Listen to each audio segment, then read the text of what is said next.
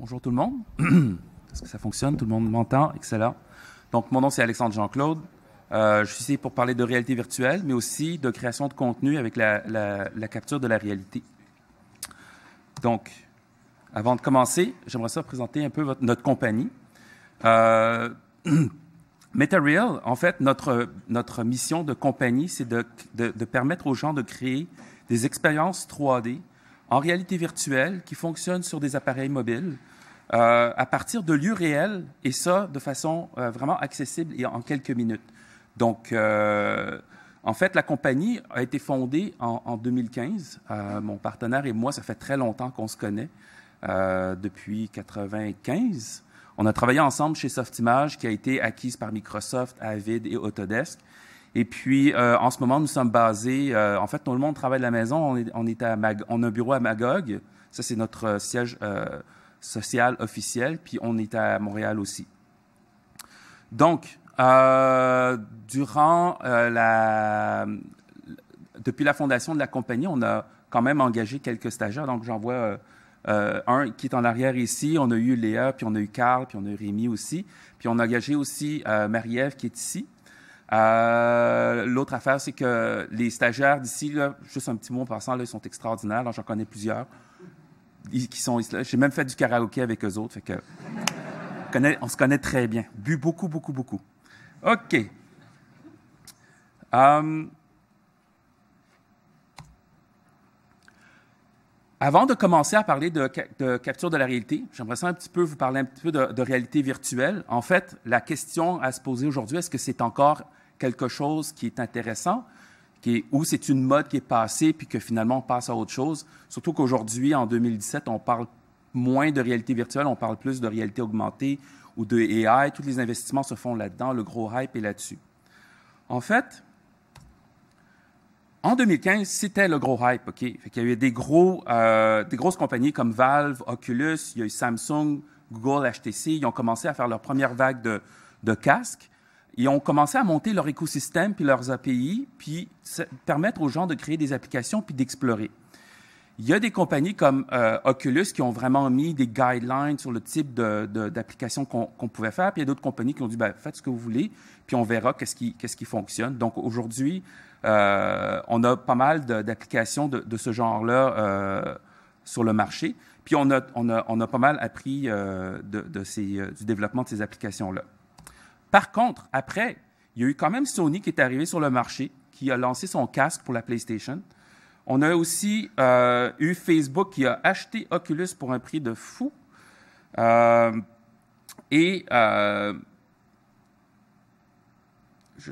ah oui, Microsoft est en train de monter sa plateforme de réalité, on appelle ça mélanger mixed reality. Et euh, tout ça, en fait, ça permet à plusieurs manufacturiers de, créer des, nouveaux casques, essayer des nouveaux form factors, puis essayer plein de trucs comme ça. C'est intéressant c'est que Mattel a sorti un petit casque de réalité virtuelle qui s'appelle le Viewmaster.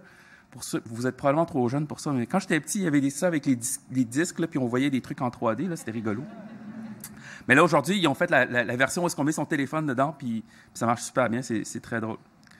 C'est vrai qu'aujourd'hui, en, 2017, on parle moins de réalité virtuelle. Par contre, euh, ce qu'on a aujourd'hui, c'est vraiment des plateformes qui sont solides sur lesquelles on peut bâtir des applications. On a une variété de, plateformes de déploiement. Ça peut aller vers du high-end PC, des trucs euh, débiles euh, comme setup. On peut même le faire sur le web. des, il, y a des, initiatives qui s'appellent WebVR qui permettent de faire la réalité virtuelle à partir d'un browser. L'autre affaire aussi, c'est qu'au niveau de l'adoption, c'est sûr que, vous allez voir un peu plus tard, c'est sûr que euh, début, quand on pense à la réalité virtuelle, on pense beaucoup aux jeux vidéo, des trucs comme ça. Mais il y a de plus en plus, par exemple, de, compagnies de marketing euh, ou des compagnies qui mettent la réalité virtuelle dans leur stratégie de communication, dans leur stratégie de vente, dans leur stratégie de, marketing. Donc, dernière affaire au niveau de, la réalité virtuelle, un des, problèmes qu'on avait, c'était le problème d'accessibilité. Soit qu'on avait quelque chose comme ça ici, où est-ce que le casque est vraiment pas cher, là, on trouve ça à peu près à 100 dollars, mais ça nous demande quand même d'avoir un téléphone qui est assez puissant. Ça prend un, S6, un S7 ou un S8, puis quand on l'achète, ben, c'est à peu près 700-800 dollars. Ça dépend toujours du... Mais c'est quand même des, appareils qui, coûtent cher. Et si on n'aime pas Samsung, bon, en effet, ça ne marche pas. Euh, l'autre affaire, si on prend des casques de réalité virtuelle style euh, Vive ou, euh, ou, Rift, mais ça prend quand même un, gaming rig qui, est assez puissant pour ça. Mais là, Oculus vient d'annoncer le Oculus Go. C'est un appareil qui est un tout en un. Il n'y a pas de fil dedans. L'appareil est intégré à même le, casque. Donc, c'est vraiment quelque chose qui est facile à transporter. On n'a pas besoin d'enlever son, téléphone puis le remettre. Et ça, le prix de base de ça, ça va être 200 dollars US. Fait que ça, c'est le prix d'une console. Je veux dire, c'est quelque chose qui est super abordable pour tout le monde, qui va permettre à tout le monde de, de, de, de pouvoir euh, avoir un casque euh, sans se ruiner. Donc, ça ici, euh, quand on regarde justement la réalité virtuelle aujourd'hui, on voit que ça commence à prendre plus de maturité. Puis en fait, il y a de plus en plus de marchés hors, hors jeux vidéo qui, qui, commencent à regarder ça. Donc, principalement, l'utilisation de la réalité virtuelle, c'est les jeux vidéo. Si vous n'avez pas essayé Batman euh, VR, là, essayez ça, c'est super drôle. Surtout quand on met le, costume puis qu'on voit nos pecs de Batman dans le miroir, là, super. Euh, ce qui est fun, par exemple, c'est qu'on voit de plus en plus de jeux sortir. On voit ça devenir pas mal mainstream. Euh, ça devient aussi un bon outil de marketing pour la PlayStation pour dire, tu sais, c'est des plateformes qui sont à l'avant-garde. Puis la qualité des, des, titres qui, sortent pour les, euh, pour les, trucs de VR, c'est de mieux en mieux. Les gens apprennent plus, sont capables de, de, pousser la, technologie un peu plus loin. Il y a aussi les documentaires et les courts-métrages. Donc ça ici, en fait, c'était la visite virtuelle de, la Maison-Blanche avec Obama, qui a été faite par une, une maison de production à Montréal qui s'appelle Félix et Paul.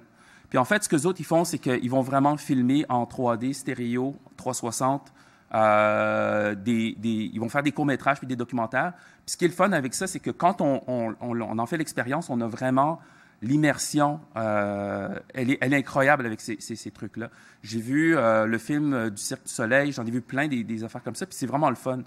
D'ailleurs, aux dernières Olympiques d'été, je pense que Radio-Canada avait un feed 360 où est-ce que les gens pouvaient regarder sur leur ordinateur ou en, réalité virtuelle. Donc, on voit que c'est un c'est un média intéressant, justement, pour les documentaires et les courts-métrages.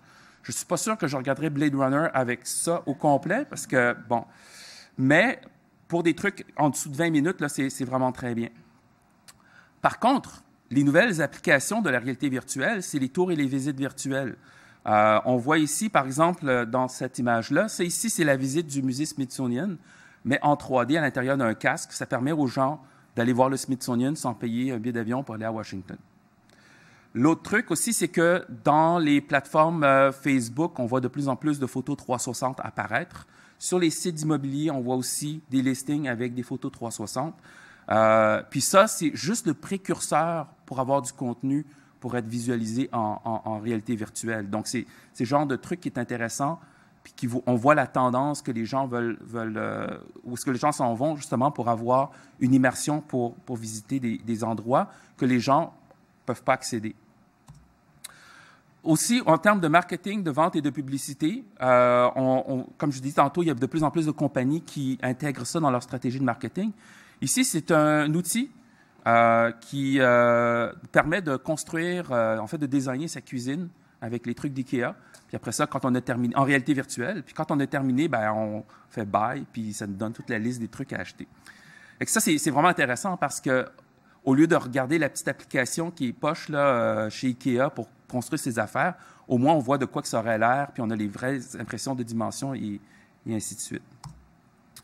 Autre chose, éducation et formation. Donc ici, on voit quelqu'un se pratiquer à faire de la chirurgie en réalité virtuelle. Donc, ça, permet vraiment de se mettre en situation où est-ce que on n'a pas la machinerie, on n'a pas l'outil qui, est présentement, qui est physiquement là, mais qu'on veut faire de la formation puis la déployer à grande échelle. La réalité virtuelle permet de faire ça de façon plus interactive et plus immersive que juste regarder des vidéos, par exemple. L'autre affaire, au niveau médical, traitement de la douleur et les phobies aussi. Euh, ça ici, on voit euh, quelqu'un qui justement met un, un casque de réalité virtuelle, puis la, femme, elle a, fait de l'arachnophobie. Donc, en désensibilisant, avec, euh, plus d'immersion, ça lui permet de contrôler un petit peu ces affaires-là. Euh, il y a aussi le traitement de la douleur, mais aussi le traitement des maladies mentales, comme par exemple la schizophrénie. Euh, il y a eu des cas où est-ce qu'il y a eu des applications qui ont été faites en réalité virtuelle pour le traitement de la schizophrénie. Ça ne me tente pas d'essayer ça, en tout cas. OK, téléconférence. Ça, c'est pas mal rigolo. On se dit, ben, téléconférence en VR, c'est un peu drôle parce qu'on ne se voit pas. Euh, ce que Facebook a fait avec Spaces, c'est qu'ils ont mis le concept d'avatar à l'intérieur de, leur euh, application. Puis juste pour raconter une petite anecdote, la première fois que j'ai essayé ça, euh, Garrett, mon partenaire, il me dit Ah, il faut qu'on essaye ça. Je dis OK, ça a l'air poche, les graphiques sont pas beaux, je sais pas pourquoi, je vois pas l'intérêt. Mais une fois qu'on se met là-dedans, donc on prend notre apparence, puis les autres personnes qui sont dans le même environnement ont leur avatar aussi, mais on met les, manettes dans nos mains et on voit les mains bouger. Et, c'est là que ça devient super intéressant, c'est parce qu'à un moment donné, on oublie que c'est juste un avatar, puis on sait que c'est l'autre personne. Même si la représentation, elle n'est pas incroyable, euh, puis juste le fait de bouger les mains, d'entendre l'audio, d'être capable de faire des sketchs dans l'espace, puis de lui donner toute cette interaction-là, là, ça, clenche n'importe quoi qu'on peut faire sur Slack ou en, vidéoconférence. Euh, donc, ce qui est fun avec ça, c'est que ça permet vraiment de, en fait, ça, donne une meilleure perception de l'intention de l'autre aussi en regardant son, comportement à l'intérieur de l'application. Et finalement, euh, conception, simulation, visualisation, euh, il y a de plus en plus d'expériences qui se font là-dedans. Évidemment, visualisation, c'est pas mal plus fun de visualiser de quoi en étant en immersion, euh, que ce soit des concepts qu'on a faits ou des trucs comme ça. Mais même faire de la création en VR, c'est quelque chose que les gens explorent de plus en plus. Et ça, ici, ce qu'on voit, en fait, c'est quelqu'un qui est dans Unreal, qui est en train de faire du level editing avec, avec son casque. Donc, ça lui permet de d'avoir une meilleure euh, visualisation spatiale de où est-ce que les choses sont, sont placées. Donc, c'est fun, tous ces marchés-là. On a de la belle technologie, on a, on a des plateformes qui nous permettent de développer tout ça. Puis le truc, le fun, c'est faire des applications. Mais le problème, c'est d'être capable de créer du contenu là-dessus. C'est comme ça que la réalité virtuelle, en fait, va, va devenir mainstream. C'est s'il y a du bon contenu. S'il n'y a rien dessus, ou que le contenu est médiocre ou qui coûte cher, ça ne pognera pas avec tout le monde, euh, le marché du consommateur. Donc, le problème, c'est le contenu. Euh, aujourd'hui, en fait, euh, au niveau du contenu, il y en a plusieurs, l'audio, tout ça. On va se concentrer vraiment sur la 3D. principalement au niveau visuel, ce qu'on utilise comme contenu, c'est des photos 360. Ça, c'est facile. On prend notre téléphone, on fait ça de même, puis ça fonctionne. Ou on prend une caméra 360, ça marche très bien. La vidéo aussi, il y a des appareils qui font ça très, très bien. On n'a pas besoin vraiment de... c'est un processus qui est, facile à faire. Par contre, créer de la 3D, ça, c'est assez difficile. En fait, c'est un processus qui est très coûteux, qui demande une expertise technique. Ça prend quelqu'un qui connaît Maya, Max, Blender, whatever, un logiciel de 3D de modélisation. Et puis, euh, en fait, euh, pour créer du contenu 3D qui a de l'allure aujourd'hui, ben on, fait ça comme ça, on ouvre un studio de jeu, puis on met plein d'artistes là-dedans, puis ils travaillent là-dessus. Il faut intégrer tout ce contenu-là à l'intérieur du jeu, puis euh, ça, prend beaucoup de temps, puis ça prend beaucoup d'énergie pour ça. Mais là, on a vu qu'il y a quand même pas mal de marchés autres que le jeu, sauf que en ce moment, les, gens qui ont l'expertise technique pour faire la 3D, mais ben, ils s'en vont tous travailler sur le prochain Assassin's Creed ou vont travailler sur le prochain Avengers. Fait il n'y en a pas des tonnes qui sont disponibles pour créer du contenu pour les autres industries.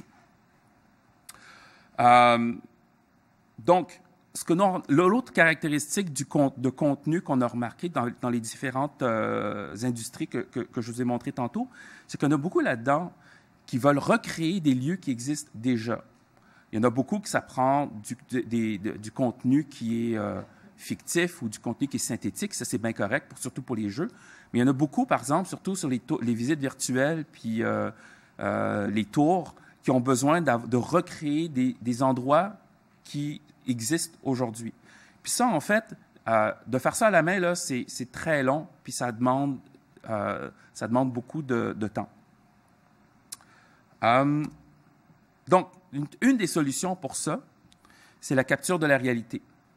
Euh, ça ici, c'est euh, mon partenaire et ça, c'est moi. En fait, dans, le milieu, c'est un appareil LiDAR qu'on avait loué, puis on avait fait un contrat de capture pour une compagnie de jeux vidéo. Je vais vous le montrer tantôt. puis, en fait, ce truc-là, ça, scanne en laser toute la pièce. Ça nous permet de, de recréer en 3D. c'est quoi la capture de la réalité? En gros, c'est très simple. Ce qu'on a besoin de capturer dans un lieu qui existe, c'est la couleur, toute la couleur de, l'environnement. Ça, c'est assez facile. Euh, on prend des photos. Donc, c'est pas plus compliqué que ça. La catch, par contre, c'est qu'on doit prendre des photos partout où l'observateur va regarder, parce que lui, il va tourner la tête, va regarder en haut, en bas, en arrière.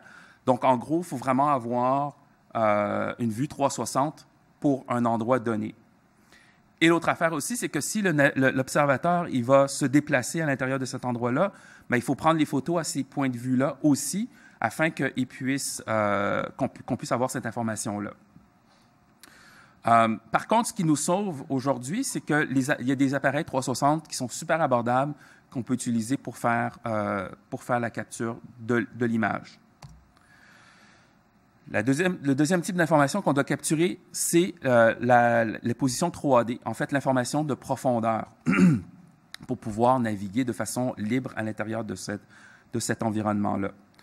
Euh, dans ce cas-ci, ce qu'on voit, c'est euh, un nuage de points qu'on a capturé avec le scanner que vous avez vu tantôt. Et puis, en combinant, en combinant l'information 3D avec l'information de couleur, c'est là qu'on est capable de recréer euh, notre environnement virtuel. En fait, c'est ici, je vais juste aller là et faire play, vous montrer un petit peu qu'est-ce qu'on a réussi à faire avec la capture de la réalité. Donc ça ici, ce que vous voyez, c'est vraiment le niveau un niveau qu'on a capturé avec un appareil photo puis un scanner. On a travaillé là-dessus pour recréer ça en 3D, puis on l'a intégré à l'intérieur de Unity. Donc ça ici, ça nous permet vraiment de se promener à l'intérieur. C'est un hôtel qui se trouve en fait dans le Vieux-Montréal, qui s'appelle le Calvet. Et puis, comme vous pouvez voir, là, on, a vraiment essayé de, garder l'aspect photographique, toute la qualité de, lumière, euh, de façon à ce que ce soit le plus réaliste possible. Euh, donc, juste l'arrêter. Excellent. Ce genre d'expérience-là, quand on, le, vit, ça, donne vraiment l'impression qu'on est à l'intérieur. Puis c'est ça le but qu'on rechercher quand on, veut, euh, veut faire euh, ce genre d'application-là. Donc maintenant qu'on connaît un petit peu les, les, principes de base de la capture, on va voir qu'est-ce qu'on a comme arsenal à notre disposition pour faire ça. Donc, le LiDAR. Le LiDAR, en fait, c'est un scanner qui fonctionne comme un radar, mais au lieu d'ondes électromagnétiques, utilise des lasers. OK? C'est utilisé en ce moment en arpentage. Donc, des fois, vous allez voir quelqu'un avec un appareil sur le bord de la route qui est en train de prendre des trucs. Ça utilise du LiDAR. On utilise en ingénierie, en robotique, pour scanner, euh, en, ingénierie pour scanner les défauts, par exemple, dans les murs, dans les structures, euh, euh, en robotique aussi, et en conduite autonome. Donc, les voitures, pour scanner leur environnement, utilisent ce genre de technologie-là. Ce qui est le fun avec euh, cet appareil-là, c'est qu'on a, euh, souvent, ils vont combiner un appareil photo là-dedans, fait qu'on a juste un appareil, puis ça prend les deux. Par contre, l'appareil photo est assez euh, moyen, fait que des fois, il faut prendre les photos séparément. Par contre, cet appareil-là est très précis. c'est ici ce qu'on voit, c'est un Faro Focus 350, c'est capable de scanner à 350 mètres. Puis le niveau de résolution, c'est en c'est à peu près 1 mm de résolution. Donc, comment, pour arriver à notre mèche, à notre géométrie qui peut euh, rouler là-dessus. Ce qu'il faut faire, c'est prendre le scanner, on capture le nuage de points, on applique du meshing là-dessus, donc ça crée un mesh à très, très haute densité. Ensuite de ça, il faut appliquer un algorithme de réduction, euh, puis refaire de, la de faire la topologie du mesh pour que ce soit propre. Et après ça, on obtient notre mesh à résolution interactive. Deuxième technologie, le structured light. Donc, ça ici, on retrouve ça sur les appareils mobiles maintenant. Euh, le iPhone 10 en a un pour la reconnaissance du visage. Euh, il y avait la tablette Tango aussi qui en avait un. Puis tout ce qui est basé en fait sur les caméras RealSense ont ce type de technologie-là. Comment ça fonctionne? C'est qu'en fait, ça projette un patron de, points en laser infrarouge, donc on ne le voit pas. Et ce qu'on a comme, euh, comme information quand c'est combiné avec une caméra ou un téléphone, c'est en fait la couleur et la profondeur aussi. Donc ça, en fait, ce que ça fait, c'est que ça capture le nuage de points. on passe à travers un processus de meshing, puis ça nous donne un, mesh qu'on peut utiliser pour, euh, en interaction. Ensuite de ça, ce qu'on a, c'est la photogrammétrie. Il y en a plusieurs ici, j'imagine, qui sont en imagerie. Euh, donc, vous connaissez un petit peu ça. Ça utilise des photos ordinaires. L'idée, c'est qu'on prend beaucoup, beaucoup, beaucoup de photos de, de, ce qu'on a besoin de, de, reconstruire en 3D.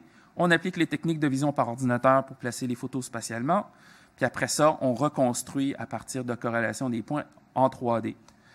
Euh, l'information qu'on a de base, qu'on doit capturer, c'est l'information juste de couleur. On n'a pas besoin d'avoir d'informations de, profondeur. Et euh, en fait, le processus, comme j'expliquais tantôt, on prend les photos. Au niveau de la reconstruction 3D, ça crée un mesh à très haute densité. Et après ça, il faut appliquer le processus de réduction, le processus de topologie pour avoir un mesh qu'on peut utiliser sur les mobiles. Dernière euh, technique qu'on utilise, c'est la modélisation par image. Donc ça, euh, ça utilise des photos ordinaires ou mieux encore des panoramiques 360. Puis on utilise des logiciels de modélisation 3D, SketchUp ou Image Modeler ou d'autres logiciels pour recréer cet environnement-là. Euh, c'est plus facile que de prendre des photos puis essayer de les, recréer à l'œil, parce que souvent ces logiciels-là vont superposer les photos, vont refaire des calculs pour trouver les, points de perspective, puis vont permettre de créer des, formes très, très, très rapidement. Euh, la seule affaire, c'est que ça, c'est de la modélisation manuelle, mais le résultat, c'est qu'on a tout de suite notre mèche à, résolution interactive. Euh, puis la résolution, elle augmente avec le niveau de détail qu'on a, a besoin d'avoir. Donc maintenant que vous avez vu un petit peu toutes ces, euh, ces techniques-là, on peut passer avec un, à un comparatif entre les, les différents types de, de captures. OK ce que j'ai fait, c'est que dans les prochaines slides, j'ai mis des caractéristiques qui étaient importantes. Nous, on a fait de la production avec, euh, en, capture de la réalité, puis on, a, établi certains critères au niveau de l'utilisation de ces techniques-là, des trucs qui étaient importants pour nous. L'automatisation du processus de capture, par exemple. Quand on utilise un LiDAR, un Structured Light, ça, c'est entièrement automatisé. Des appareils, on les pose là sur un trépied, on pèse sur Scan, on s'en va, il scanne, une fois que c'est fini, ça fait un bip, puis on revient, puis on repasse au prochain. Au niveau de la photogrammétrie, il faut prendre des photos, donc ça c'est totalement manuel. Par contre, la reconstruction 3D elle-même, elle est, elle est partiellement automatisée. Le problème, c'est que souvent les logiciels vont, euh, il arrive que le logiciel se trompe, que des erreurs. Donc ça, corriger ça, c'est très euh, pénible. Et la modélisation par image, ben, c'est un processus qui est entièrement manuel. On prend ces photos, on utilise le logiciel de modélisation, puis on construit notre, euh, notre environnement. Au niveau de la précision, le LiDAR est très précis. Comme tantôt, je vous disais, il y a des appareils qui vont à 350 mètres. Le Structure Light, pas trop trop. En fait, euh, ce qui arrive, c'est que le pattern de points, il n'est pas très dense.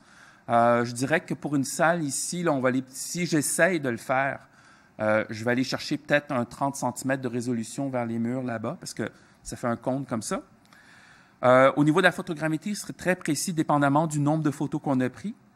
Et au niveau de la modélisation par image, c'est très précis, mais ça dépend de l'utilisateur, s'il y a un bon œil de, modélisateur ou pas. Au niveau des contraintes de capture, donc il y, a des, conditions qui font que ça va fonctionner ou que ça ne fonctionnera pas. Au niveau du LiDAR, du Structured Light et de la photogrammétrie, malheureusement, les, les, surfaces réfléchissantes et les surfaces translucides et transparentes ne fonctionnent pas, tout simplement parce que ça crée des images virtuelles, ça fait plein de bruit autour du vrai scan. Donc ici, si j'essayais de scanner, ben, je verrais aussi euh, les arbres en arrière, sauf qu'à cause de la réfraction, ils seraient légèrement shiftés. Si je prends, si je prends un miroir, par exemple, ben, il y aurait une image virtuelle qui serait recréée. Donc tout ça, c'est toutes des affaires qu'on doit euh, nettoyer à la main si on décide de le faire quand même. Mais c'est vraiment des affaires qui sont des problèmes pour ce genre de capture-là. Et au niveau de la photogrammétrie, il y a aussi euh, le fait que s'il n'y a pas une texturation intéressante au niveau des photos, ça ne fonctionnera pas. Si par exemple on essaie de faire de la photogrammétrie avec une pièce blanche, ben ça ne fonctionnera pas parce qu'il n'y a pas de point de référence qui, où est-ce qu'on peut euh, avoir euh, un matching 3D. Au niveau de la modélisation par image, il n'y a aucune contrainte. En fait, c'est juste le talent du modélisateur qui, qui est une contrainte. Là. OK, au niveau de la vitesse de capture, le LiDAR, c'est très lent. Ça dépend. À 350 mètres, 1000 mètres, c'est super lent. On, parle de heure plus de, par scan parce qu'il va très, très, très, très, très précisément. Au niveau du structure light aussi, c'est assez lent. On parle peut-être de 5 à, 10 minutes. Quoiqu'il y a des scanners aujourd'hui qui sont, sont plus interactifs. Donc, ça, c'est plus ou moins vrai. La photogrammétrie, c'est lent aussi parce qu'il y a tout le calcul qui se fait en arrière pour reconstruire en 3D. Par contre, la modélisation par image, ben ça, c'est rapide. On prend nos photos en 360, puis on commence à modéliser, puis à l'intérieur d'une minute, on est capable d'avoir un cube où est-ce qu'on a notre projection, puis quelque chose qui est intéressant. Fait ça, c'est assez rapide. Au niveau de la, reconstruction, au niveau du LiDAR, euh, c'est assez lent parce qu'on génère énormément de points avec des résolutions qu'on a besoin d'avoir. Euh, juste pour vous donner une idée, on a fait un projet à un moment donné, euh, un environnement, on avait à peu près 100 millions de points dans le nuage de points. Donc, traiter tout ça, ça demande des grosses machines, ça demande du temps. Faire le meshing de toute affaire-là, c'est encore lent. Euh, après ça, passer la réduction, toutes ces affaires-là, on aurait, il aurait fallu qu'on ait genre un, 8 CPU avec 64 gigs de RAM puis un SSD pour que ça fonctionne bien. Malheureusement, on n'avait pas cette machine-là. Le Structure Light, c'est assez rapide. D'ailleurs, le nouveau iPhone 10, là, au niveau de la, reconnaissance du visage, c'est supposé être instantané. Euh, au niveau de la photogrammétrie, c'est très lent aussi parce qu'il y a beaucoup, beaucoup de calculs. Et la modélisation par image, comme je disais tantôt, c'est rapide, mais ça dépend du niveau de détail qu'on a besoin d'avoir. Au niveau de la qualité du modèle résultant, donc, le LiDAR, le Structured Light, la photogrammétrie opèrent sur des nuages de points qu'on remèche puis qu'on. En fait, ce que ça fait, c'est que ça génère, ces trois techniques-là génèrent de la géométrie qui est assez irrégulière. Donc, si on a un mur, par exemple, on n'aura pas des lignes qui seront parfaitement droites. Euh, l'autre affaire aussi, c'est que vu qu'on a beaucoup, beaucoup, beaucoup d'informations, c'est difficile de prendre la haute résolution, de l'amener à basse résolution, un mesh de haute résolution à la basse résolution, puis d'avoir un résultat qui est beau. C'est super difficile. Là. Même aujourd'hui, après 25 ans de, computer graphics, là, il y a des algorithmes de réduction, euh, ça fait des jobs qui sont assez moyennes. Euh, et évidemment, ils ont des erreurs qui sont causées par la réflexion et la transparence. Par contre, ils sont capables de, scanner des affaires euh, de façon très, très précise. Donc, c'est assez utile dans certains cas. Au niveau de la modélisation par image, donc le modélisateur, lui, va créer des cubes parfaits, des sphères parfaites. Ça va générer de la géométrie qui est parfaite où est-ce que la topologie elle va, être, euh, va, être, super bonne pour les, engins de jeu en particulier. Euh, la densité, elle est très basse, mais ça dépend du niveau de détail voulu. Au niveau des coûts, un LiDAR, ça coûte très cher. L'appareil qu'on a vu là, c'est 100 000 et plus. Euh, le Structured Light, ça dépend du Structured Light. Il y a des appareils, par exemple, qui sont intégrés pour faire justement la capture de pièces, comme Matterport, ça coûte à peu près 6 000, 5 000, 6 000 Par contre, les morceaux eux-mêmes sont intégrés après des appareils photo. Ça, c'est très abordable. Euh, au niveau de la photogrammétrie, on a besoin d'un ordinateur et d'un appareil photo. Et au niveau de la modélisation par image, on a besoin d'un ordinateur et d'un appareil photo. Donc, au niveau des coûts, euh, c'est assez bas si on a déjà ces appareils-là. Donc, en fin de compte, en regardant tout ça, on se demande quelle technique utiliser. Ben, en fait, si on a des grandes surfaces et des grands volumes, euh, faire du LiDAR, faire de la photogrammétrie ou de la modélisation, c'est tout à fait adéquat. Euh, la photogrammétrie, entre autres, pour les trucs d'extérieur, euh, si on veut scanner, si on veut reconstruire une montagne, par exemple, c'est le genre de truc qui, marche très bien parce que la montagne a beaucoup de, texturation dessus. C'est facile de, faire la correspondance des points. Euh, au niveau du LiDAR, ben, ça dépend toujours de la portée du scanner qu'on a besoin de faire. Si on a besoin d'avoir des petites surfaces volume, ben, toutes les techniques sont bonnes. Euh, par contre, évidemment l'idée des, surfaces réfléchissantes et transparentes. Si on veut avoir du détail de forme organique, par exemple une statue ou des plantes ou des trucs comme ça, c'est bien d'utiliser un scanner ou de la photogrammétrie parce que c'est capable d'aller chercher chacun des détails de façon plus efficace qu'un humain pour la modélisation. Mais par contre, si on veut aller chercher de la régularité au niveau de nos formes, si je veux reconstruire, par exemple, les colonnes ici ou des murs droits, parfaitement droits, mais la modélisation, c'est mieux pour ça. Et la modélisation, on n'a pas de, problème de, surface réfléchissante et transparente. OK, donc, je vais vous montrer quelques, quelques cas d'environnement que nous, on a eu à, capturer. Puis, euh, c'était quoi, finalement, euh, qui étaient nos, euh, nos solutions par rapport à ça? Ça ici, en fait, c'est euh, un endroit où est-ce que les caractéristiques de cet endroit-là, en fait, c'est qu'il y a beaucoup de formes organiques. Il y a du papier qui traîne, il y a beaucoup de désordre, puis le désordre, il est éparpillé partout. OK? Euh, il y a le problème des grilles qui sont en haut, là. je ne sais pas si vous le voyez là. Les grilles sont en haut, ça, cause des problèmes de shadowing aussi, donc il faut vraiment essayer de trouver c'est quoi les, bons endroits pour qu'on puisse capturer en arrière, sinon il y a, les, rayons ne passent pas. Par contre, ce qui est le fun, c'est qu'il y a très peu de surface réfléchissante dans cet endroit-là. Il n'y en a pas beaucoup. Il n'y a pas presque pas de surface transparente à part la fenêtre. Puis même encore là, le scanner, il va, c'est facile d'enlever les, points de ce côté-là. Donc, pour capturer ça, nous, on a utilisé un LiDAR, mais la photogrammétrie aurait fait aussi. Au niveau du calcul, euh, c'est sûr que la photogrammétrie, ça prend plus de temps pour générer le nuage de points, alors qu'avec le LiDAR, ça nous donne déjà un nuage de points. Donc, on a un, point de départ euh, de ce côté-là avec le LiDAR. C'est ici, c'est d'autres pièces. Euh, ça, c'est en dessous de l'hôpital Royal Victoria, celui qui est en train de se faire détruire. C'était dégueulasse, là, mais en tout cas, c'est super le fun aussi. Beaucoup de formes organiques. Par contre, le désordre, il est localisé. Il est vraiment sur les murs, en haut, où est-ce qu'on voit les tuyaux, des trucs comme ça. Euh, il y a beaucoup de détails et peu de surface réfléchissante, donc toutes les techniques sont bonnes pour cet endroit-là. On pourrait décider de le faire en modélisation, puis de faire ça rough, puis juste mettre des endroits flats. Puis des fois, ça va marcher aussi. Ça dépend toujours de ce qu'on a besoin de faire. Puis évidemment, la photogrammétrie, LiDAR et Structured Light fonctionnent aussi là-dessus. Maintenant, ça, un de mes endroits préférés, ça, c'est la distillerie Circa. Ils font du gin, de la vodka, puis du, whisky maintenant. Euh, ils sont à Montréal. Euh, donc, ça, beaucoup de formes régulières. On voit des cylindres, on voit des cuboïdes, on voit des, des, euh, des plans. Par contre, il y a beaucoup de stainless là-dedans, donc beaucoup de réflexion. Il y aura plein de bruit si on utilise des, techniques optiques. ça, c'est le genre de truc qu'on modéliserait par, par, par image. Fait finalement, euh, je vais vous montrer quelques cas de production. Donc ça ici, euh, en 2016, ce qu'on a, on a fait, c'est qu'on a travaillé avec une compagnie qui s'appelle Minority VR euh, sur un jeu qui s'appelle The Other Room. Eux autres, ils devaient créer des niveaux à partir de qui, étaient assez réalistes. Donc ils ont dit, on a le choix de le modéliser à la main ou on a le choix d'essayer la capture de la réalité. On a décidé d'aller avec la capture de la réalité. ça ici, en fait, c'est un des niveaux euh, qui, euh, là, on a fait de la capture de la réalité, c'est euh, le système de chauffage central du centre-ville de Montréal. Puis en fait, on a utilisé deux appareils là-dessus. On a utilisé le scanner LiDAR, puis on a utilisé un appareil DSLR avec un, bracket panoramique qui nous permet d'avoir une très bonne résolution, puis nous permet aussi de capturer plusieurs brackets pour avoir du HDR à l'intérieur de, pour notre contenu. Chaque capture prenait à peu près 20 minutes pour le niveau de détail qu'on avait besoin. Puis on devait faire à peu près 8 à 20 captures par lieu. Ça dépendait de, la complexité du shadowing puis des trucs comme ça. Donc, ce que ça nous a généré comme contenu, c'était des mèches. On partait de mèches à haute résolution. on, avait aussi les panoramas euh, qu'on avait euh, avec les appareils photo.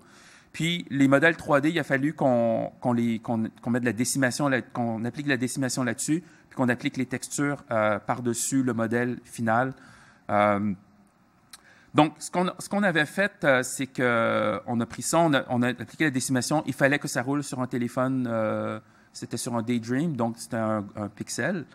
Et puis, le problème, c'est qu'on avait eu pas mal de bruit qui était causé par des problèmes de réfraction, de réflexion, des trucs comme ça. Puis, à un moment donné, il y avait des morceaux qui étaient mal scannés aussi. Fait beaucoup, il y a certains éléments qu'on a dû reconstruire en modélisation à bras. mais en fin de compte, refaire ça en capture de la réalité, c'était pas mal plus efficace que de le modéliser à la main, surtout avec tous les détails qu'il y avait. Deuxième affaire, deuxième projet sur lequel on a, travaillé, c'était la visite virtuelle du cep d'argent. Donc, le cep d'argent, c'est un vignoble à Magog qui font du champagne, entre autres. Et puis, on avait fait ça dans le cadre des fêtes des vendanges cette année. D'ailleurs, si vous restez après, j'ai amené l'expérience ici, fait que vous pourrez l'essayer. Et la voix que vous entendez au début, c'est la voix de Super Marie-Ève qui est là. Euh, donc, en fait, l'idée, c'était euh, d'augmenter un petit peu l'offre de, la fête des vendanges, pas juste avoir des magasins, des trucs comme ça, mais aussi avoir un, kiosque où est-ce qu'on était capable de, de, faire autre chose que d'acheter de la bouffe. Donc, on a proposé de faire une visite d'un vignoble, puis dans la visite du vignoble, en fait, il fallait combiner des capsules vidéo aussi pour que le propriétaire nous explique c'était quoi la méthode champenoise, comment on faisait pour faire le remuage, comment on faisait pour ouvrir une bouteille de champagne et ainsi de suite. Euh, donc, ce qu'on a fait, c'est qu'on a utilisé en fait deux types d'appareils. Ça, si c'est un appareil 360 euh, qui capture de la vidéo. Euh, ça capture du 8K en stéréo 360. c'est super cool comme appareil, c'est magnifique. Puis en plus, ça ressemble à un truc de Star Wars. Puis on a utilisé aussi un rig de caméra DSLR avec panorama, bracket panoramique. Là, ce qui était le fun, c'est que pour le processus de capture, ça a été super rapide prendre un, en fait un panorama en, bracket, ça prend une minute parce qu'on prend la photo, prend la photo, on fait six shots comme ça. Le haut et le bas au niveau de la construction, c'est pas nécessaire parce que les autres photos vont contribuer à, remplacer les trous. Donc, c'est vraiment un processus qui est très rapide. C'est pas 20 minutes par, shot. C'est vraiment euh, deux, 2-3 minutes. Puis au niveau de l'appareil, euh, de la caméra vidéo, en fait, on la place là comme une caméra vidéo ordinaire. On fait notre setup, puis la personne vient juste faire ce qu'elle a besoin de faire devant la caméra. Donc, le contenu qu'on a capturé avec ça, c'est qu'on a capturé des panoramas 360, euh, donc celui qu'on voit ici. À partir des panoramas 360, on a reconstruit en 3D, donc on a modélisé euh, par image. Et à côté, ce que vous voyez, c'est la vidéo 360 euh, en stéréo. On n'a pas capturé en 8K parce qu'il fallait que ça roule quand même sur des téléphones. Donc, euh, le résultat final, c'était légèrement en dessous de 4K. Euh, mais par contre, c'était en stéréo. Et, puis, ça, joue à un, framerate qui était, acceptable. Euh, un des, trucs qu'on a, qu'on a fait, évidemment, avec la modélisation, comme je disais tantôt, pour avoir plus de détails, il faut passer plus de temps. Ce qu'on a fait, c'est qu'on a fait ça à un niveau de détail qui était acceptable. puis, ça nous a donné quand même des formes qui étaient assez rough. Par contre, puis vous allez le voir sur, euh, sur l'expérience tantôt, euh, ce que ça a donné comme, euh, comme effet visuel à la fin, c'était tout à fait adéquat. Fait que souvent, on n'a pas besoin d'aller très, très, très, très loin dans le niveau des détails pour avoir une, immersion puis une, une, belle expérience. Je vais juste vous montrer un petit peu qu'est-ce que ça a donné. Juste trouver ça. Là, je vais le je vais le mettre à peu près ici. OK, ça, c'est une, photo panoramique qu'on a prise avec euh, un drone. Puis après ça, là, l'intérieur, ce que vous voyez là, c'est une reconstruction 3D. Donc là, on va avancer. Donc, on peut voir vraiment que la 3D, elle est, elle est présente. Puis ça, ici, c'est l'intégration de la vidéo qu'on a faite. Fait que dès qu'on arrive à cet endroit-là, la vidéo va apparaître. Donc ça, c'est le propriétaire qui est là. Puis ce qu'on a fait, c'est qu'on a vraiment matché les, orientations puis les positions des endroits où est-ce que les, captures vidéo étaient faites de façon à ce que ce soit le plus euh, fluide possible en termes de navigation. Donc, je vais arrêter ça. Euh, je trouve ma souris. Ah, ah OK. Donc ça, ça nous a permis vraiment d'intégrer euh, les, éléments 3D, la vidéo, des images 360 l'audio aussi. On a, fait, on a monté tout ça dans Unity. Euh, ça a été un processus quand même assez, euh, assez facile, beaucoup plus en tout cas que ce qu'on avait fait avec, euh, avec The Other Room. Puis en fait, il reste encore qu'après avoir fait toutes ces productions-là, nous, on est en train de développer notre logiciel pour être capable de faire de la reconstruction en 3D. Euh, aujourd'hui, il y a encore des problèmes puis à résoudre, mais ça, ça veut dire aussi qu'il y a des opportunités de recherche à, avoir au niveau de ces trucs-là pour, faire en sorte, en fait, que, la création de contenu 3D soit accessible à tous. En fait, il faudrait que ce soit aussi facile que de prendre une photo, la mettre dans, notre ordinateur, puis que la 3D se, se, fasse euh, euh, très facilement. Donc, Gros problème, réflexion, réfraction, je pense que je l'ai dit à peu près 15 fois durant ma présentation. Si on était capable de discriminer euh, les, points qui, sont générés par la réflexion, la et la réfraction, ou de le filtrer, ou de trouver un moyen de le faire, euh, ça résoudrait beaucoup de problèmes au niveau des appareils qui fonctionnent avec des technologies optiques. Dans le même genre d'idée aussi, l'élimination de, de, la lumière. Souvent, euh, les gens vont vouloir, par exemple, capturer un endroit, mais ils vont dire les conditions de lumière, je vais les changer. Fait que je veux euh, mettre un nouveau set de lumière. Il faudrait être capable d'enlever l'information de lumière, mais garder l'information de couleur sur les éléments aussi. Et l'autre affaire, c'est que euh, vous allez voir, si on prend en photo une surface réfléchissante qu'on leur construit en 3D, Mais si on bouge comme ça, la réflexion ne fonctionnera pas parce qu'elle est, elle dans, la texture. Donc, si on enlevait les réflexions, on était capable de les filtrer, on pourrait après ça appliquer des techniques de réflexion puis de réfraction qui sont euh, interactives. Deuxième point, euh, génération de modèles 3D propres en basse résolution est prête à utiliser comme contenu. Quand on utilise des techniques comme euh, la photogrammétrie ou le LiDAR, ça génère des, des, millions et des millions et des millions de points. Juste refaire un mesh à partir de ça, c'est déjà euh, un job en soi. Puis d'amener ça à quelque chose qui, a une belle qualité et qui fonctionne sur les, engins de jeu, ben ça aussi, c'est un autre problème. D'autant plus que les engins de jeu ont certaines restrictions ou certaines contraintes pour aller chercher de la performance. Par exemple, des polygones qui sont très longs, ben, ce n'est pas bon pour la performance d'un jeu vidéo. On aime ça avoir des triangles qui sont très réguliers, qui permettent d'optimiser le, le, fill rate de, de, chacun des, euh, des, des, pixel shaders qu'on a besoin d'avoir. Euh, donc, amener tout ça à, faire quelque chose qui est, beau, qui est cohérent, qui est, optimisé pour le GPU, c'est difficile. Et il y a beaucoup de recherches qui se font encore en ce moment là-dessus. Euh, et dernier truc, en fait, c'est, ça, vient renforcer un petit peu le, le, deuxième point, c'est qu'en faisant de la reconnaissance de forme, par exemple, on est capable de caractériser certaines affaires. Si, par exemple, je suis capable de dire, ça, c'est une chaise, puis voici ma forme de chaise, je pourrais déjà partir à un modèle, un modèle de chaise, puis le fitter sur cette image-là. Euh, et sémantiquement aussi, je le sais que c'est une chaise. Donc, il y a beaucoup d'applications de, de, vision puis d'intelligence artificielle à, à, avoir là-dedans qui permettraient, par exemple, de reconnaître des objets puis de faciliter la, la, la, la récréation en 3D. Et éventuellement, euh, on pense peut-être à faire de la modélisation automatique aussi, donc euh, de, voir comment est-ce qu'on peut recréer, détecter les formes, puis recréer les formes là-dessus, euh, mais de façon plus...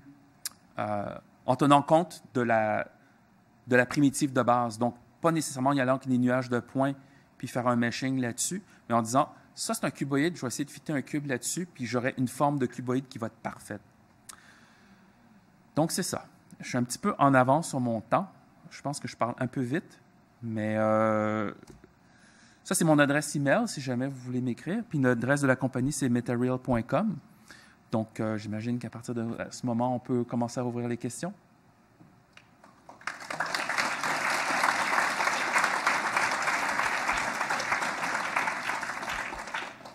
On est prêt pour les questions?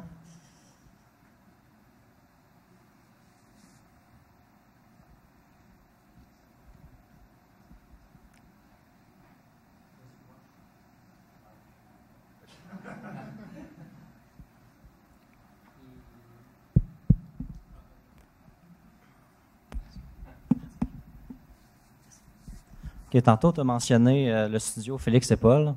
Euh, je me demandais si ta compagnie est plus en collaboration, en compétition contre Félix et Paul. Est-ce que vous prenez les mêmes contrats? Non, on ne prend pas les mêmes contrats. Eux autres sont vraiment intéressés à faire de la production pour des courts-métrages, euh, pour du documentaire. Ils font de la vidéo principalement. Ils vont probablement utiliser des techniques de 3D éventuellement. Nous, notre compagnie, notre activité principale, c'est de développer du produit. OK? Donc, le produit qu'on développe en ce moment, c'est un produit qui permet de faire la, reconstruction 3D à partir de, photos, puis éventuellement de scans, puis des trucs comme ça. Félix et Paul, ça pourrait être nos clients éventuellement quand le produit sera lancé. Quand on fait de la production, c'est que, premièrement, ça nous permet d'arrondir un peu nos fins de mois, parce qu'on est un start-up aussi. Mais euh, ce que ça nous permet de faire, c'est de vraiment utiliser notre logiciel puis de voir c'est quoi les problématiques que nos clients vont avoir. Donc, c'est un peu comme on dit en anglais, eat our own dog food. C'est ça qu'on fait avec les productions. Fait qu'on n'en prend pas des tonnes, mais celles qu'on prend, c'est vraiment, on les choisit parce que ça, ça va nous permettre de, faire avancer le logiciel, puis ça va nous permettre de, pas de second guesser ce que les utilisateurs éventuels vont, vont faire, puis ça nous permet d'explorer aussi c'est quoi les applications de nos, de nos produits. J'avais aussi une autre question. Euh, tu as montré beaucoup de scans d'intérieur, mais est-ce qu'à l'extérieur, ça marche aussi bien? Est-ce qu'il y a des limitations? Donc, pour le structured light, la grosse limitation, c'est que c'est comme c'est infrarouge, c'est très sensible à la chaleur, ça ne fonctionnera pas. Au niveau de la photogrammétrie puis du LiDAR, c'est deux techniques qui fonctionnent très bien. Euh, si, on veut reconstruire, souvent, les gens vont faire de la capture de terrain avec de la photogrammétrie, fait qu'ils vont prendre des drones qui vont faire promener, puis à partir des photos, ils vont reconstruire. Il y a Autodesk qui a un logiciel qui s'appelle Recap qui permet de faire ça, justement. Au niveau du laser, du LiDAR, en fait, c'est euh, les bâtiments. Euh, si par exemple je voudrais capturer le, campus ici avec un LiDAR, ce serait génial. Nous, ce qu'on avait fait d'ailleurs avec le LiDAR une des premières fois, c'était la maison Tourigny à Magog. Il allait, la détruire, puis il voulait garder une, empreinte digitale, si on veut, de, ce bâtiment-là. Fait qu'on est allé le jour de la destruction euh, scanner la, maison. Fait qu'on on a, tout ça, c'est très, très rigolo.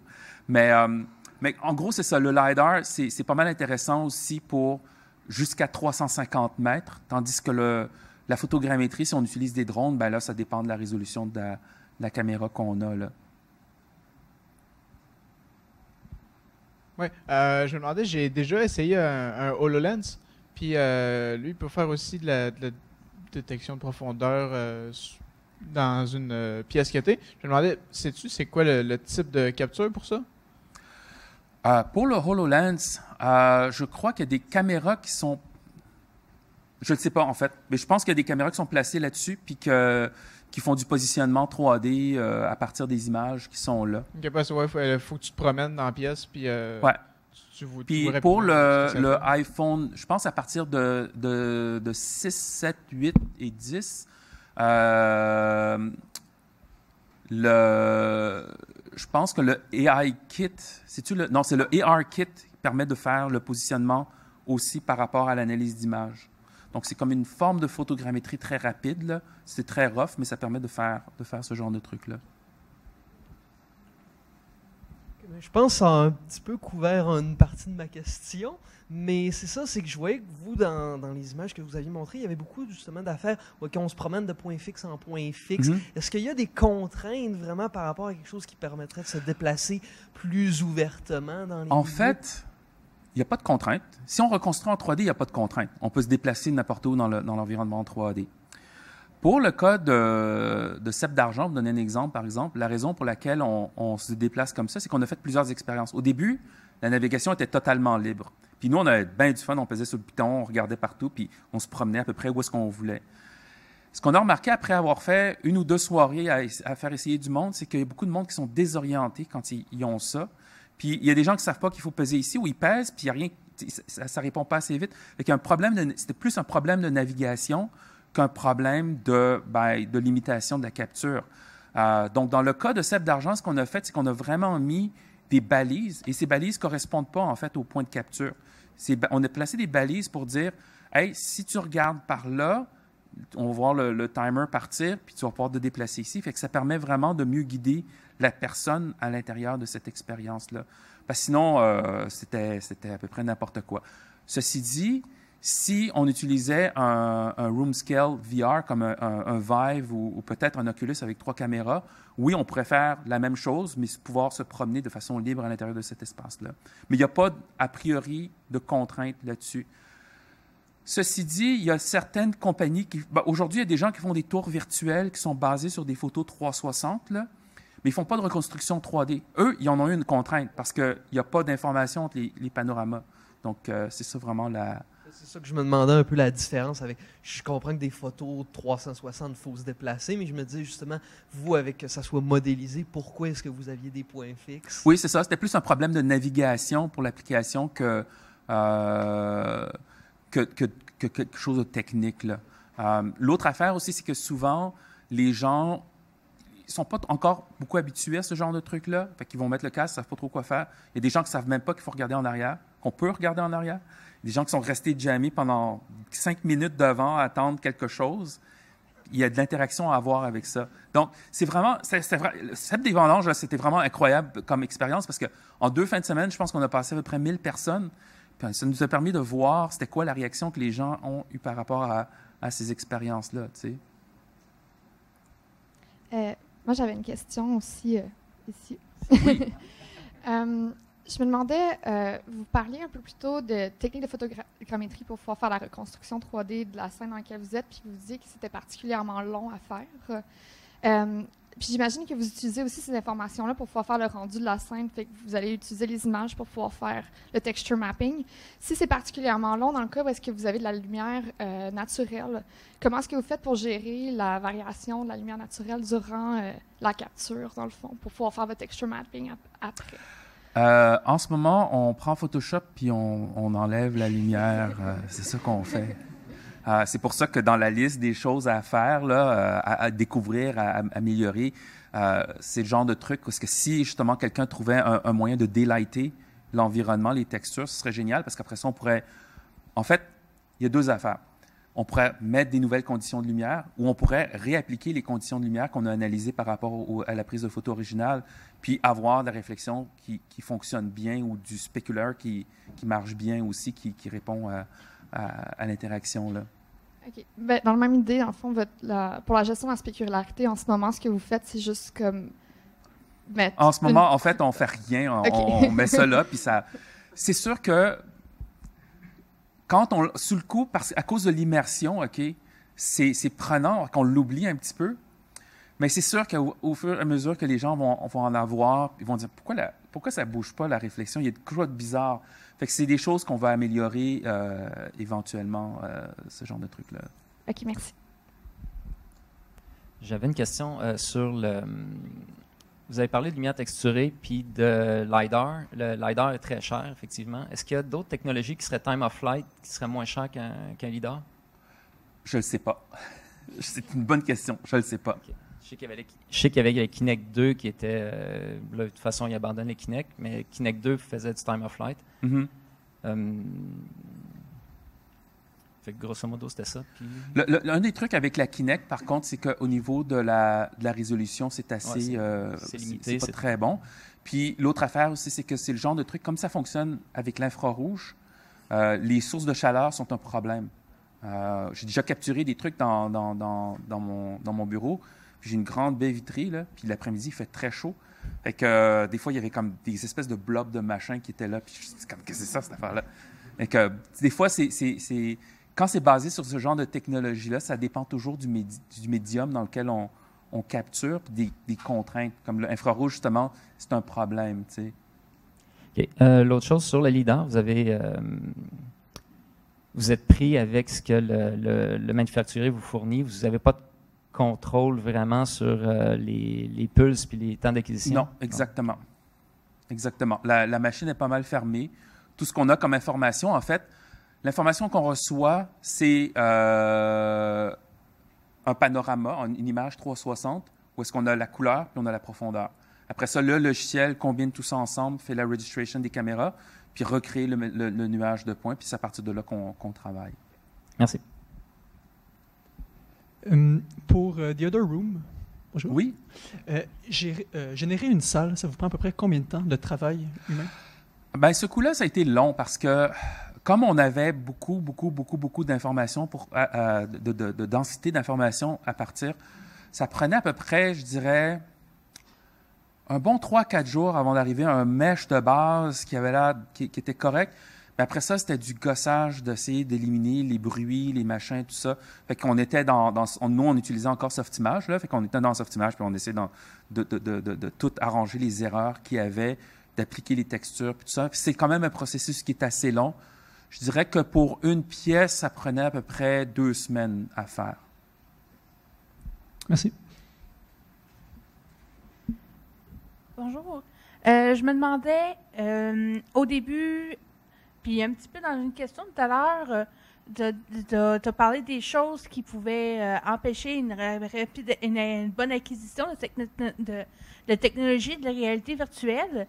Euh, je sais qu'une des choses que certains utilisateurs qui se plaignent, puis tu en as parlé un petit peu aussi, euh, c'était le fait que justement, il y a des fois des, problèmes de désorientation parce que quand tu es en réalité virtuelle, tu ne bouges pas pour vrai. Fait que des fois, ça les il y en a qui deviennent étourdis un petit peu comme avec la 3D. Est-ce que tu sais s'il y a des recherches sur ce domaine-là? Ou euh? Oui, en fait, euh, ce qui est intéressant, c'est qu'il y a pas mal de recherches avec toutes les applications qu'on a faites dans les deux dernières années, des types de locomotion qu'on peut avoir euh, dans, un, dans, une application.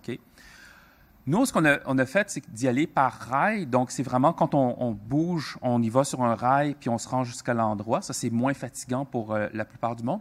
Ceci dit, ce qu'on a observé avec les 1000 samples qu'on a eus, c'est que euh, il y en a à peu près, je dirais, une dizaine dans les 1000 qu'eux autres, ils ont enlevé le casque au bout de 5 secondes. Puis c'est des gens qui ont aussi des problèmes à regarder des films en 3D. Ces gens-là sont incapables de, mettre ce, genre de casque-là. La deuxième affaire, c'est que ce qu'on a fait pour, euh, euh, diminuer un petit peu l'impression de vertige, surtout au départ, c'est qu'on avait mis des tables hautes. Donc les gens faisaient juste toucher la table, puis ça leur donnait un point d'ancrage qui leur donnait moins le vertige. Puis au bout de deux, trois minutes d'acclimatisation avec le- l'expérience, les gens, là, ils restaient là. Puis il y en a beaucoup qui ont fini, on avait 10 minutes de, limite, beaucoup qui ont fini le 10 minutes sans problème, puis se promenaient partout, ils exploraient, puis faisaient plein d'affaires. Euh, moi, j'ai essayé plein de trucs. Il y a des affaires qui donnent vraiment mal au cœur, puis il y a des trucs qui, que je pensais qui donneraient mal au cœur, qui qui, qui sont pas, euh, sont pas. En fait, l'affaire, c'est que il faut vraiment euh, avoir un, un mouvement réaliste ou se faire dire qu'on va se faire guider vers quelque chose. C'est ça que j'ai remarqué. Si on est dans un véhicule, par exemple, ça marche très bien. Un vaisseau spatial, un tank, une voiture, ça fonctionne très bien parce qu'on on le sait qu'on est dans une voiture, puis on le sait que ça avance, pas nécessairement où est-ce que nos jambes vont avancer. Euh, par contre, il y a un autre jeu qui s'appelle, euh, je ne me rappelle plus, mais l'idée, c'est de lancer des, des- des cordes un peu partout. On se promène de falaise en se balançant là-dessus. Là. Quand on tombe, là, ça donne vraiment le vertige. Mais ça dépend des gens, parce qu'il y a des gens qui recherchent des sensations fortes comme ça. Puis je pense que les millennials n'auront aucun problème avec ce genre de technologie-là. C'est plus les gens qui sont plus vieux que moi, tu sais. En tout cas, merci beaucoup. Ça répond très bien à ma question. Bonjour Alexandre, Oui, ici à l'arrière. oui. Salut, Junior. Euh, stagiaire chez Material. Disons par exemple que j'étais un développeur très intéressé par euh, Material, par ce que vous faites de la technologie. euh, quel genre de technologie vous utilisez, pourquoi, puis en tant que développeur qui voudrait par exemple postuler pour votre entreprise, euh, à quoi je devrais m'attendre euh? C'est une très bonne question, Junior. Merci. OK. Um, en fait, nous, on est tout web-based. On n'a pas d'application native. On fait de la 3D sur le web. On utilise euh, WebGL, mais on utilise une librairie qui s'appelle Tree.js, qui est extraordinaire. Ça marche très bien. C'est super facile à, rajouter du stock là-dedans. Puis c'est comme, c'est un peu comme utiliser Maya, mais sans l'interface graphique. Ça me permet vraiment de, créer des affaires incroyables. Le back-end, en fait, euh, on, est hosté sur Amazon, puis on utilise euh, des bases de données standards, Postgres et compagnie. Euh, tout le, framework du site web est basé sur WordPress. Euh, nos services sont encapsulés dans, des Docker containers, puis ils fonctionnent de façon indépendante. Euh, et puis, on utilise JavaScript, Python, HTML, CSS. On a un petit peu de C++ pour faire du traitement d'image. Puis en fait, tout ça, c'est vraiment présenté. il, y a, zéro application installée, ça fonctionne dans Chrome. Donc, à partir de, Chrome, on prend nos photos, notre data, on l'upload. Il y a du crunching qui est fait en arrière, puis ça nous permet, de, après ça, d'avoir nos interfaces pour recréer nos environnements. Maintenant, pour ceux qui seraient intéressés à travailler pour nous, ben, en fait, euh, ce qui est drôle, c'est qu'on cherchait un stagiaire pour euh, l'hiver, mais c'est, je sais que tout le monde a déjà euh, pas mal choisi ses affaires. Puis la manière que ça fonctionne, c'est que nous, on, fait affaire avec le, le Paris. Puis on a une subvention avec ça pour l'emploi de stagiaires. Puis quand on avait demandé il y a quelques mois s'il y avait de la place pour, pour euh, janvier, ils nous ont dit non, il n'y en a pas. Puis vendredi, pas, jeudi passé, je reçois un mail, ils disent que vous seriez prêt à prendre un stagiaire pour, euh, parce qu'on a de l'argent. Je dis, ben là, c'est parce que tout le monde a fini ses affaires. Mais en principe, on prend un stagiaire par session si, on, peut. Euh, D'ailleurs, on en a passé quatre jusqu'à date. Junior, tu le dernier. Puis euh, c'était super le fun de prendre des stagiaires. En passant, moi, j'ai eu beaucoup, beaucoup, beaucoup de plaisir euh, à, à avoir des stagiaires avec, euh, avec nous. Je pense que de notre côté, on, les choisit de façon à ce qu'ils puissent nous apporter déjà une valeur ajoutée, même s'ils n'ont pas beaucoup d'expérience. On passe quand même à un processus d'entrevue qui est, assez, je dirais pas rigoureux, mais qui nous permet de filtrer ce qu'on a besoin d'avoir. Parce que pour nous, en termes de compagnie, c'est non seulement le talent, mais aussi est-ce que tu es capable de t'intégrer comme il faut dans l'équipe. On a vraiment une, philosophie de compagnie qui, est particulière, puis on a besoin d'avoir des gens qui fit avec ce genre de, de, philosophie-là. Par exemple, c'est euh, tu travailles d'où ce que tu veux, quand tu veux, mais en autant que la job soit faite. Puis on s'attend à ce que tu sois autonome parce que tu vas travailler à la maison. Euh, donc, pour les perspectives d'emploi, là, en ce moment, on va commencer une ronde de financement euh, justement pour augmenter l'équipe. Euh, donc, on va commencer à chercher pour des gens pour du back-end DevOps, pour euh, du full stack, pour faire de la 3D, pour faire de la reconstruction, euh, éventuellement pour du AI aussi. Donc, suivez-nous, puis vous allez voir si jamais ça vous intéresse. Est-ce que ça répond à ta question, Junior? Oui. Euh, ça prend combien de temps en moyenne de faire vos projets? Euh, mettons, euh, le vignoble, ça prend combien de temps? Le vignoble, ça a été rapide. Euh, en fait, le gros du travail, ça a été de faire le shooting, préparer l'endroit. Donc, il y a eu quoi? Peut-être, je dirais, une semaine de shooting en tout pour de l'expérience. Ensuite de ça, peut-être une autre semaine de préparation au niveau du data, donc processer. Non, je dirais deux semaines pour le, le processing de vidéo, le mettre à l'intérieur de, de, de Premiere, puis faire le montage, ces affaires-là. Au niveau de la reconstruction 3D, c'était vraiment pas long. Écoute, euh, je pense que par pièce, euh, ça prenait environ une à deux heures le faire. Euh, ce qui était pas mal plus long quand on avait fait le, premier projet. Donc, puis après ça, ben, il fallait coder l'application. Mais maintenant que l'application est codée, on rajoutait du contenu, ça va être super facile. puis coder l'application, ben, ça a pris quoi? Peut-être un bon deux semaines, trois semaines de travail à peu près? Euh, c'est Marie-Ève qui a travaillé dessus beaucoup, fait que c'est pour ça que je la regarde. Euh, mais c'est à peu près deux, trois semaines, euh, deux, trois semaines de, travail sur l'application. Fait que c'était, vraiment pas long. À terme, nous, ce qu'on voudrait, c'est d'être capable vraiment d'accélérer ça puis de le rendre super accessible euh, à tout le monde. En fait, notre but comme compagnie, c'est que quelqu'un puisse faire CEP d'argent sans programmeur sans artiste 3D. Donc, euh, voilà. Euh, c'est à moi. Euh, moi, c'est pas trop compliqué ma question. Euh, les techniques que tu as données, en fait, c'était surtout pour capturer, par exemple, le décor d'une pièce. Est-ce qu'on pourrait réutiliser ces techniques-là, par exemple, pour, pour sortir la modélisation d'un objet, par exemple, une chaise ou une table? Oui, tout à fait. En fait, je dirais que le LiDAR est peut-être moins approprié parce que le LiDAR, c'est quand même un truc qui, qui, euh, qui est fait pour la longue portée, là, si on veut. Là. LiDAR à courte distance, ça ne sert pas à grand-chose. Mais euh, les techniques de structured light, euh, la photogrammétrie, on utilise. J'ai déjà fait des tests. J'avais été voir